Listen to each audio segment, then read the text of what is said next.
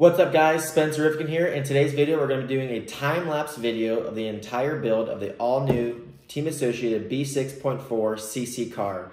Um, one of the coolest things I've seen Team Associated do, uh, releasing the clear style edition kits that we've historically seen over the last decade with the B5 release, the B6 release, and now the B7 release.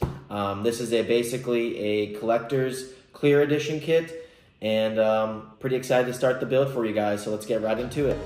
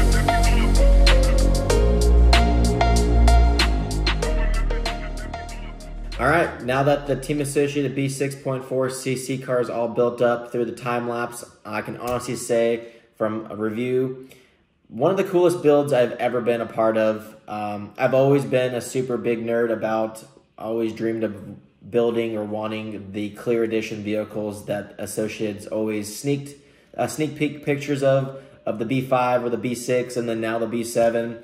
And um, I didn't even know that this project was uh, actually going down until I got an email from the higher ups saying that, hey, we're going to be releasing a B6 uh, Clear Edition vehicle.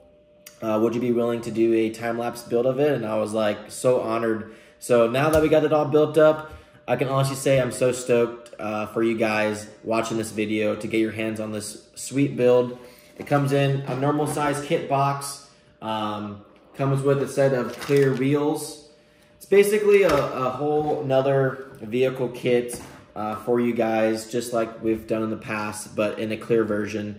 Um, obviously, it's a collector's um, kit, and um, I'm going to be putting mine on the shelf. Um, I think you can probably do a little bit of running with it, but probably wouldn't recommend. You're not able to purchase the parts separately. It only comes in kit form. So um, yeah, hopefully you guys enjoy the video just as much as I did uh, making it and building the car because uh, I'm super stoked for you guys to get your hands on this as we've all been wanting this for many, many years. So thank you guys for tuning in, watching, and we'll see you guys on the next one.